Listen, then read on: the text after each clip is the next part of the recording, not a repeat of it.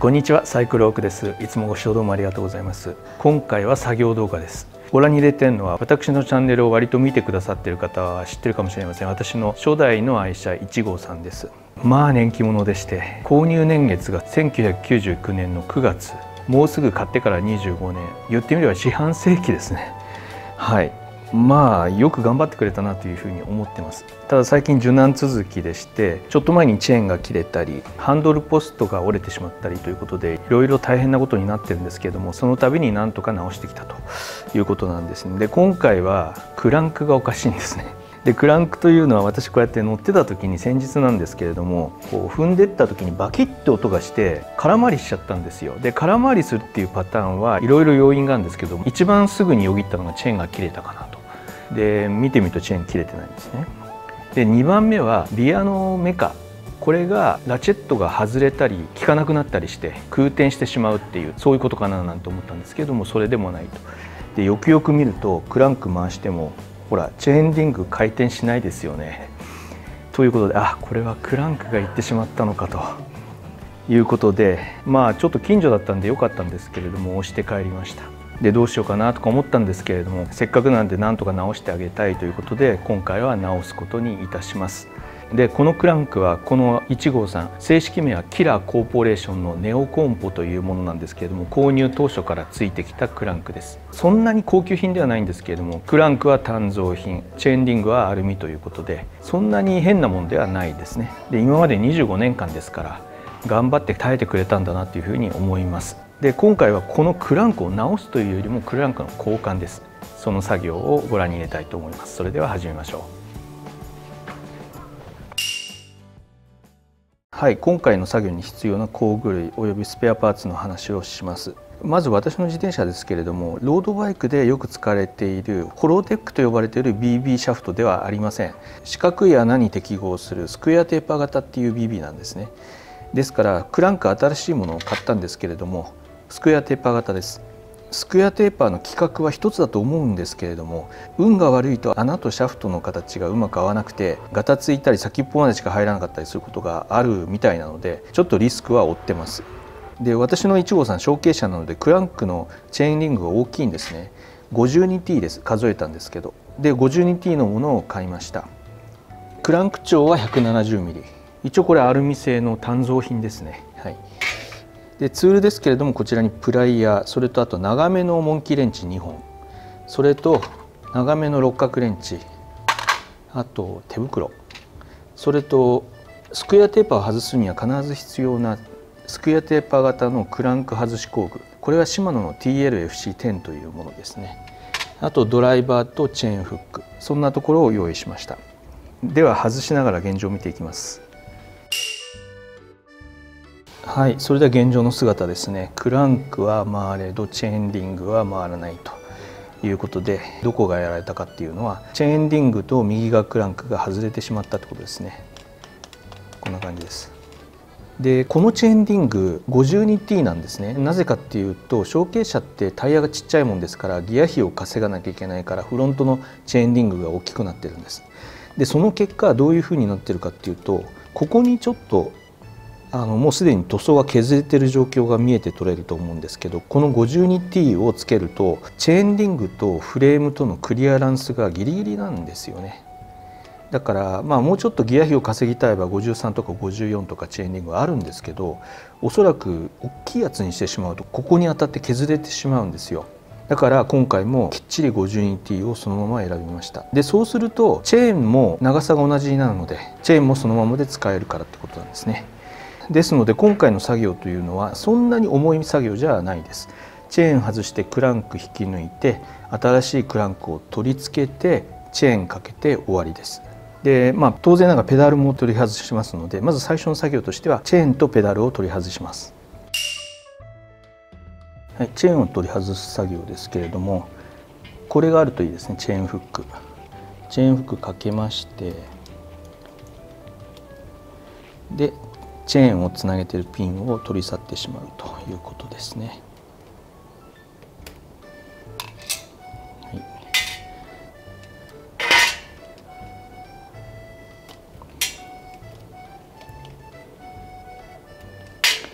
はい OK です。あとはチェーンフックを外してチェーンを引き抜いてあげれば OK と。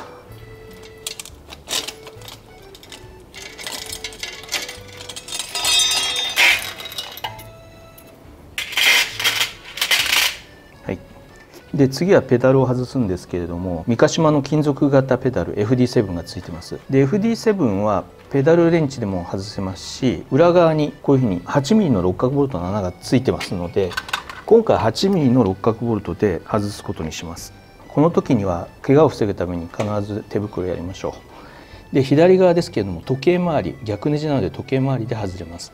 したがって裏側から8ミリの六角レンチを差し込んで半時計回りにすれば外れるということになります。はい、でこうすれば外れますんで、はい、外れました。で右側のペダルですけれども右側のペダルは反対回しですね。正ネジなのでこういうふうな向きで外れます。したがって裏側から六角レンチを差し込む場合は緩める方向が逆になるわけですね。はい。外れました。はい。で次はクランクを外すことになります。まずは左側のクランクから外しましょう。では左側のクランク外します。ボルトを覆っているカバーを外します。これはドライバーでこじれば簡単に外れます。で次にこれネジですね。ネジを外すんですけれどもシマノの純正工具にはこちらのネジに適合する六角穴がついてますのでこれを使って外せばいいです。モンキーレンチにこの六角穴をついている部分をこういうふうに合わせましてしっかりと合わせてかぶせます。であとは怪我しないように体重を乗せながらこういうふうにボルトを緩めてあげればいいです。このボルトは左右とも普通の正ネジですので半時計回りで緩みます。で一回緩んじゃったらもうあとは手で外せますんでね。でこれで本作業の下地が整ったと。で絶対必要なのはこれなんですね。これ。コッタレスクランク外し工具とも言います。あとは単にクランク外し工具とも言われますけどこの工具こういうふうに伸び縮みするようになっていて収納の時には縮んでるかもしれませんけど使う時はいっぱい伸ばします。はい、でこういう風になるわけですね。このねじま山がこの内側のネジと合うようになってます。この時に絶対注意すべきことはここにはすごく力が加わりますんでしっかりと奥まで差し込むことが必要なんです。で奥まで差し込むにしても工具は使わないです。手でスルスル入るようになってるのでネジ山のスルスル入るところを見つけて手で入れます。手で奥まで入れます。これで OK なんですよ。で一番大事なのはこのネジのかかっている厚さがちゃんと奥深くまでいってること。その時にこの内側のネジを緩めないままにしておくと途中で止まってしまいますんでネジのかかっている幅が浅くていざ引っこ抜く時に内溝をぶっ壊してしまうってことがあるんですよね。だから手でいいから奥までスルスルと入れますと。逆に手で入らないようなきつい状況だったらそれはネジが合ってないってことですからちゃんと角度と向きを決めて手でスルスルと奥まで入るようにしなきゃいけないですね。でここでモンキーレンチが2つ必要でして1つはこちら側でもう1つはこちら側ですね。で手で一旦このネジを内側のネジを突き当たるまで進めておいてであとはモンキーレンチ2本を使ってクランクを引き抜いてあげるとこうやってちょっと力が必要なんですけれども、はい、でその特に渋くなければこういう感じですぐに外れます。ですごく力が加わっているところなので外さずに長くほっといた場合はあとグリス切れしたり固着している場合には相当力が必要です。ですからあまりこう無理しないでちょっとまずいなと思った時には近所の自転車屋さんに持っていくことをお勧めします。はい軸がよく見えるようになりました。これがスクエアテーパーの軸でしてなんでスクエアテーパーかっていうとこの軸の断面が四角なんですね。でテーパーっていうのは非常にわずかですけれども軸の先っぽよりも奥の方の太さが太くなってるからなんですね。だからテーパーと言います。では反対側外します。で反対側も同じ要領ですね。キャップを外しましてでこの六角穴でこのボルトですね。締めてボートを外してあげますこういうふうに力入れる時に非常に怪我しやすいんでむやみに動かさずに力をぐっとかけてあげるって感じですかねはい、こういうグッと動く瞬間が非常に怖いので気をつけてください。でよくまあ自転車屋さんはちゃんとした台にセットして押すとか体重をかける力じゃなくて引く力体の方に引く力で何とかするっていうことを心がけてるみたいですね。それが怪我をしないためのコツだったりするそうです。ではボルトを外してしまいましょう。はいそれで同じですね。こういうふうに内側に入ってると奥まで入りませんから一旦こいつをなるべく伸ばしてあげる。それでこの溝を内溝に沿って手で入れてあげるんですね。こういうふうにスルスルスルスルと。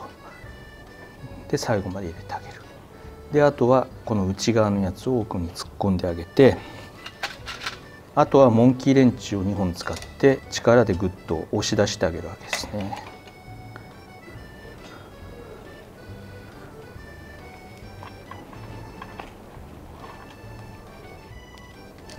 はい。先日外したばっかりなので固着してないのですごくスムーズに取れます。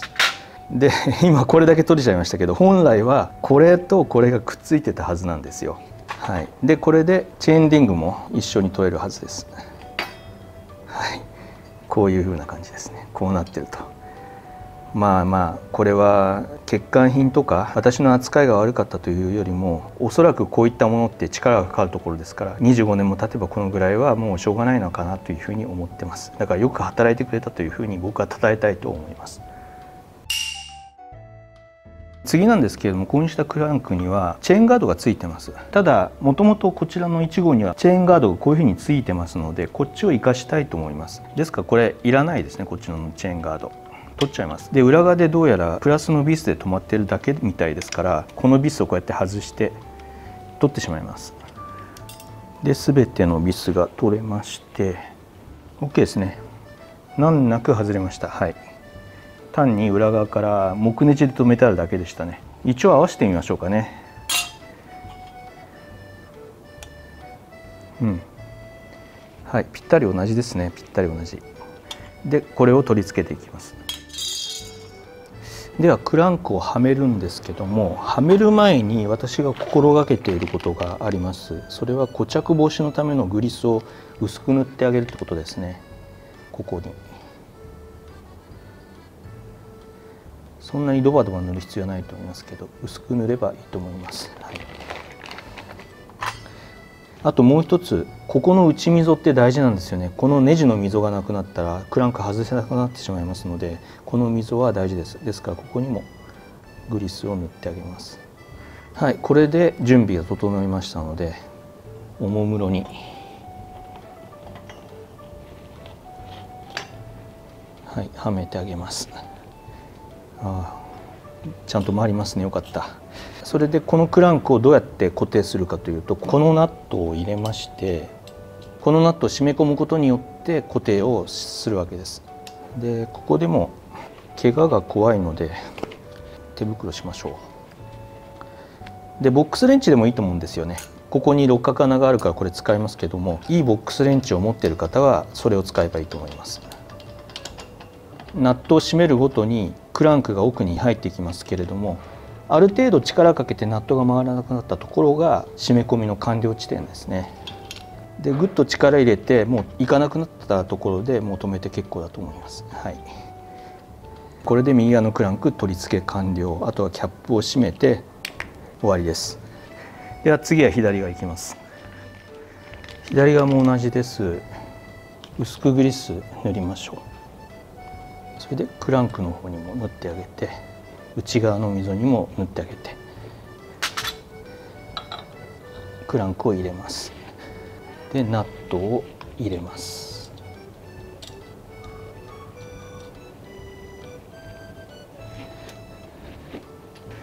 で手袋をはめましてナットを締め込んであげればいいと。同じくモンキーレンチを使いましてどんどん締めていきます。はいこんな感じですね。どうですかね。うんいい感じですね。当たってないし大丈夫みたいです。ではキャップをはめまして。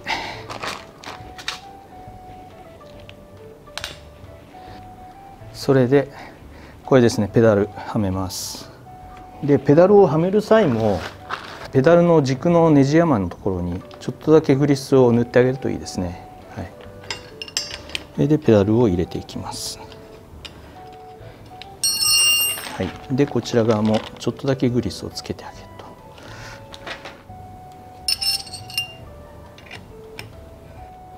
と。はい。それで左側もペダルを取り付けます。締め込みは裏側から、まあ、こんな感じで。でこちら側も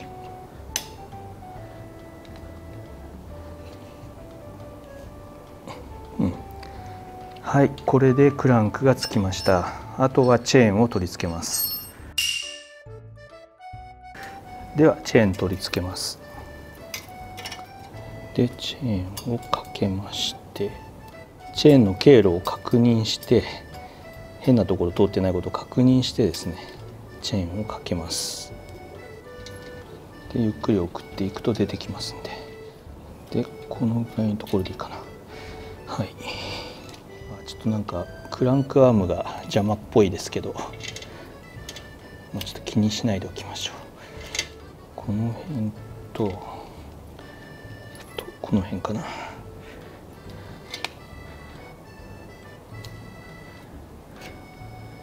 うん。それで接合のピンをこうやって取り付けます。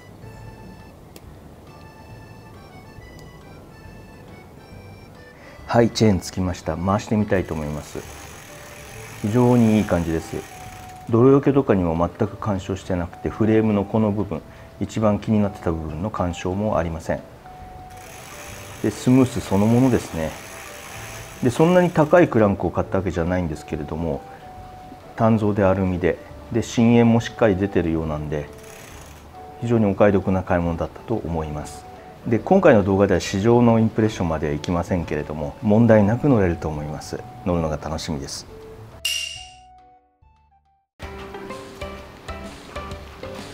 はいいかがだったでしょうか。今回は予期せぬアクシデントでフロントクランクが破壊されましてそれに対する対処をフロントクランクの交換ということで対処しました。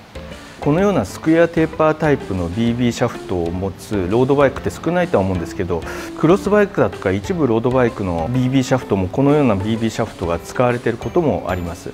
まあ、もしもという時のために参考になったら幸いです。今回最後までご覧いただきましてどうもありがとうございました。また次回の動画でお会いいたしましょう。